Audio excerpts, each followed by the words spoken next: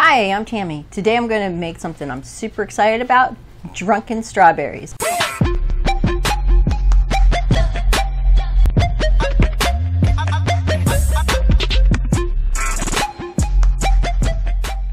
So I have my pre-washed, pre-cut, prepped strawberries. I'm now going to take my already, full disclosure, pre-opened champagne, rosé champagne, and I'm going to dump it over the strawberries. And we're going to let this set for about three hours. You can let this set for anywhere from three hours to 24 hours. It's totally up to you. Just for time-wise, we're going to let it go for three, and then we'll get back to you. So we're back. We've got our drunken strawberries. They've been in the refrigerator for three hours, sucking up all of the champagne goodness. I'm going to take some out. I'm going to put them on this paper towel because we want them to dry out. Obviously, I'm going to pat them dry. take a few out here. Then I'm going to show you the next thing we're going to do so we're going to take this sugar. This is just pure cane sugar. And we're going to put it in,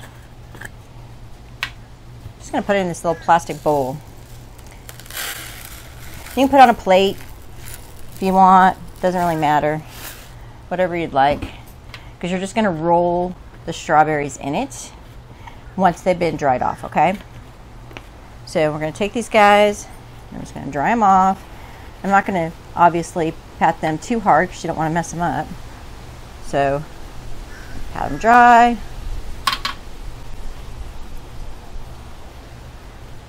Then we're just going to take them.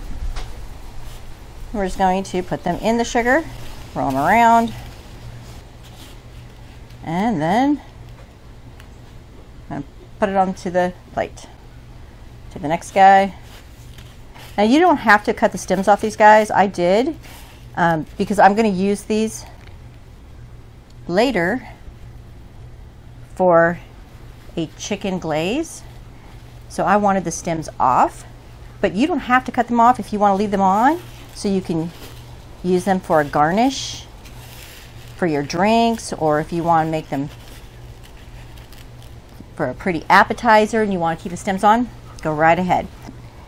I just didn't want to have to cut all the stems off afterwards and have a big mess. I just thought it'd be easier. So that's why I cut them off prior. It's up to you what you want to do. They're going to taste delicious either way. Now we're going to try them. I'm waiting all day to eat these.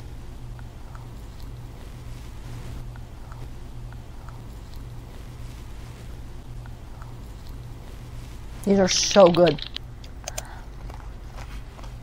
These are going to be great if you want to put them out for people to eat just as a sweet treat.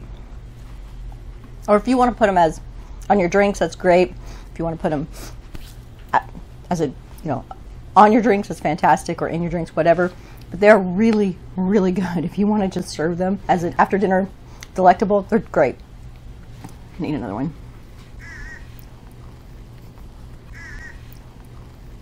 Oh, these are super good. You can taste the champagne. The strawberry is super sweet. The sugar, it, the sugar's not overpowering at all. It's mainly just like the strawberry and the champagne just going together. It's just really, really good. I hope you try these. Please let me know what you think.